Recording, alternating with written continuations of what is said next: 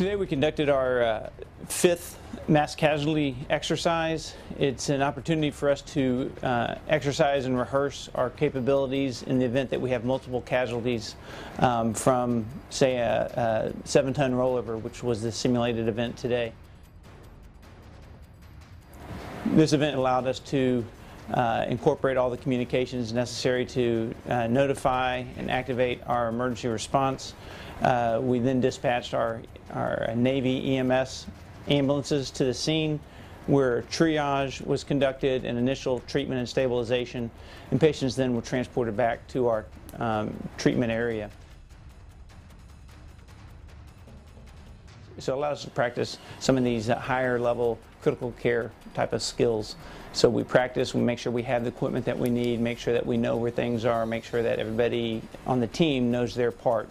This is all, our, all part of shaping our team as well. So uh, we play like we fight, we fight like we play, um, and this allows us to, to rehearse that. It's important for us to rehearse um, our skill set taking it beyond just taking care of one patient to taking care of multiple patients. It's a whole different scenario when you have multiple patients hit at once and uh, having to figure out who needs who, who's the priority, who needs treatment right away, who can wait, um, what's the best disposition, how do we how do we organize and mobilize our assets in an effective, efficient manner, and you have to practice that. So we practice it frequently. Uh, this was part of that, uh, integrating um, uh, not only Navy Marine Corps assets, but bringing in Air Force, Canadians, even Army dust off to to sharpen our skills and be be uh, be always ready, be a force in readiness.